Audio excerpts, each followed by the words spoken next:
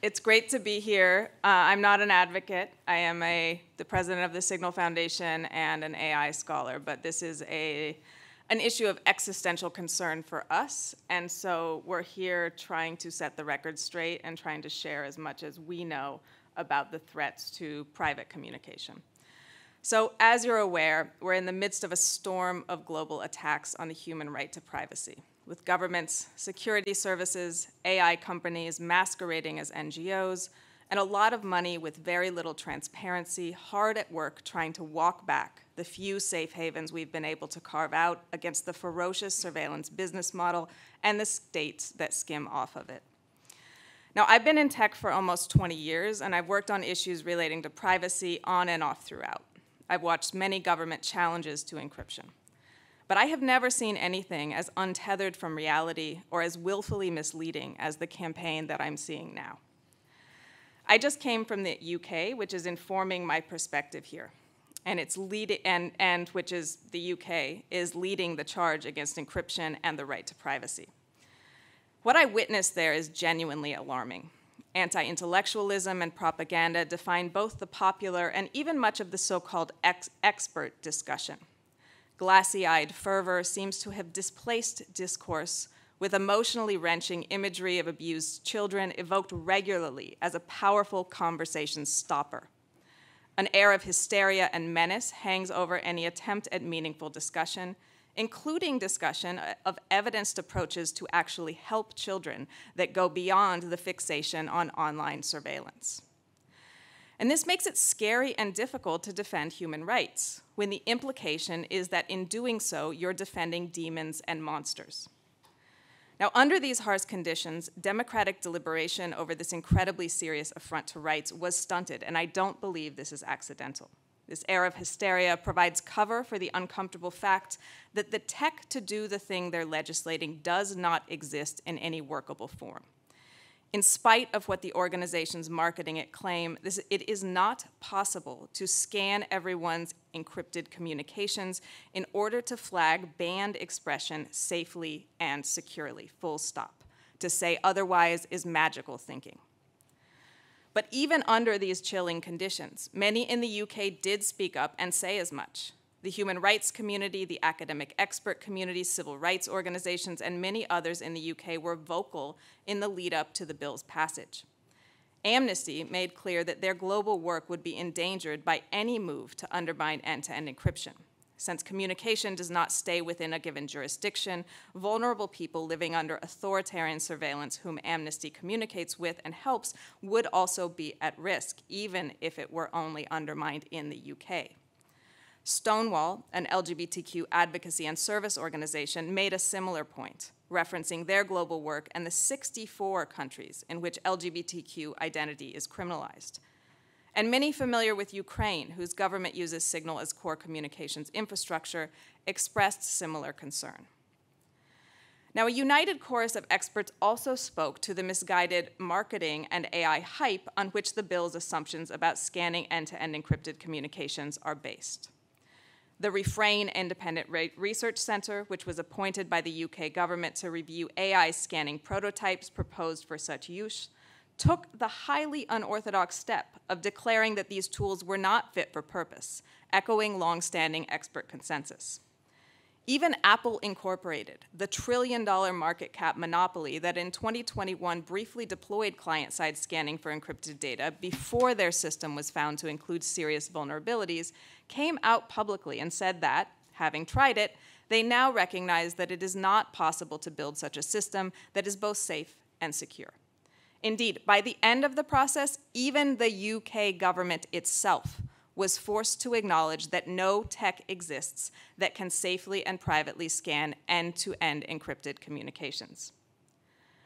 But what was chilling to me is that even with the UK government's acknowledgement, the bill moved forward.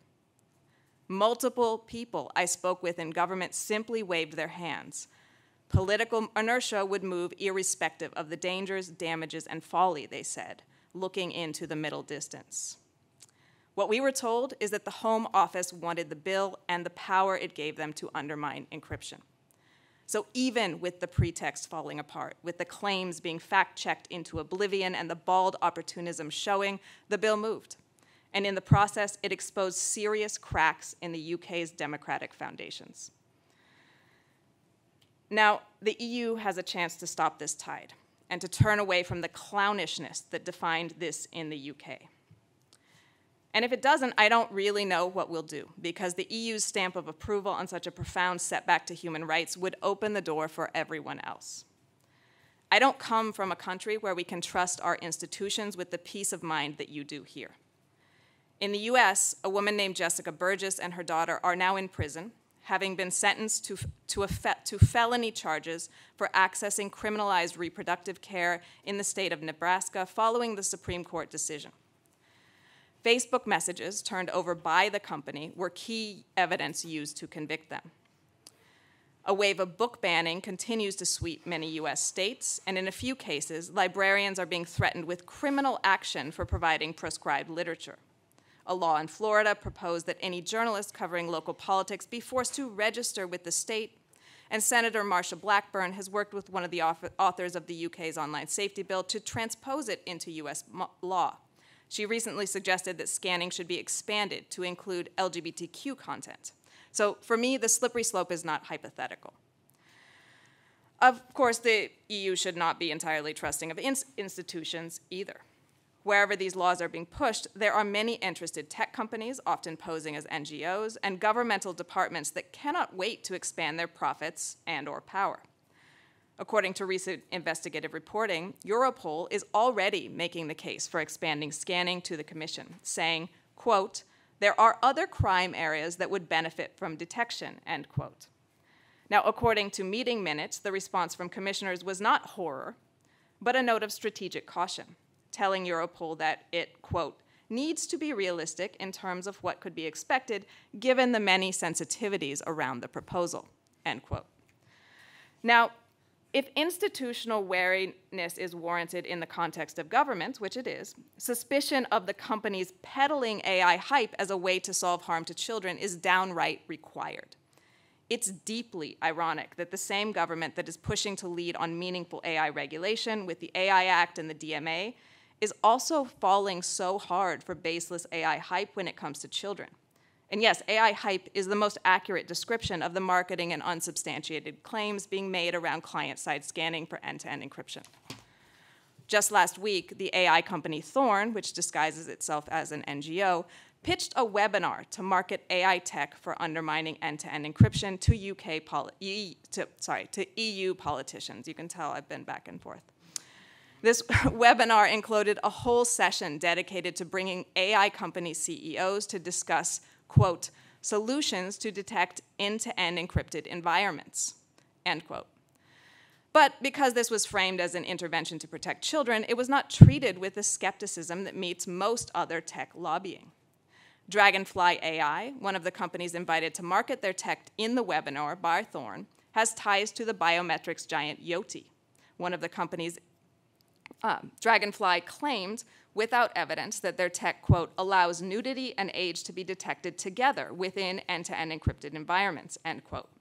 Now, again, let's be clear, no such tech exists that can do this. The tech that's been built, including Dragonfly AI's products, have been panned as unworkable, error-filled, and ultimately unsafe and privacy invasive. The companies peddling these services, some of them incorporated as NGOs, as we've mentioned, but all of them aiming for revenue, are selling technical solutions to social problems and offering the security services a much coveted backdoor to end-to-end encryption in the process. They have lobbying and astroturf operations that look nothing like organic civil society engagements, and, but very much like big tech influence operations. They marshal millions of dollars in hard to trace funding to shape the political process to an alarming degree and in the case of the EU, according to this recent reporting, some members of governments are willing participants, collaborating with these companies and their networks in highly conflicted ways. This is serious. It doesn't matter how many times you say it. AI is not conscious, it's not superhuman, and AI-based scanning cannot both maintain privacy and security and surveil all private communications. It is a regulator's duty to know this. Now, with the smoke clearing and the financial influence operations of those pushing to undermine encryption for profit and power are be becoming clearer, I am cautiously hopeful that the EU can be where this wave of attacks stops. Because if this wave of legislation takes hold be beyond the UK, it's not clear that Signal could survive. Just as our commitment to provide a tool for meaningful private communications does not change based on re region, our position on this legislation, whether it's the Online Safety Bill's spy clause or the chat controls legislation, does not change. As in the UK, as in Iran, as everywhere, we will continue to do everything in our power to ensure that people in the EU, have access to signal and to private communications. But we will not undermine or compromise the privacy and safety promises we make to people in the EU and everywhere else in the world. And we will never, ever install a backdoor or otherwise undermine the encryption that keeps the people who use Signal safe. We would rather leave. I want to close by thanking EDRi for their hard and essential work and for doing this work in the face of such ugly and cynical rhetoric and the big tech style influence operation that, while not a new tactic, is shocking in that it seems to, to implicate not just AI companies like Thorn, but interested European politicians. There is clearly hard work to be done, but I believe when the facts are clear and public, we can win, and I thank you for your work. Thank you.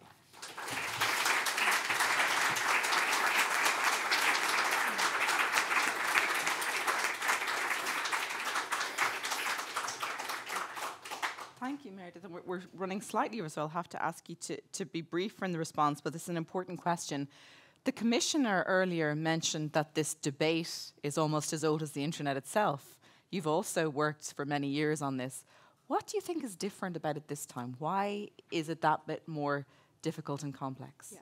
I mean, governments have been weird about encryption since 1976 when public key encryption de debuted. In the 90s, when the internet was being commercialized, they, you know, this uneasiness launched into panic as they wanted to prevent people from having means to transact or communicate without their surveillance.